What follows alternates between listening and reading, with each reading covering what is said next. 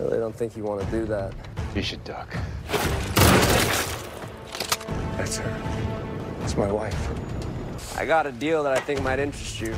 Use a guy like you out there. Tommy!